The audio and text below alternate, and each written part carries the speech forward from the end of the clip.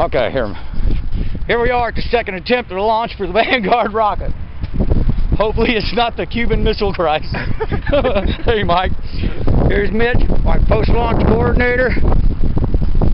Mitchell, got the thumbs up. Put the key in. Keys in, Did the light come on? lights on. Launch it. There we go, baby.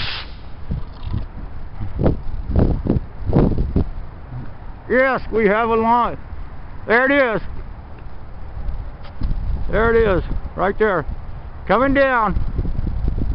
Coming down. Can you see it? It shoots out.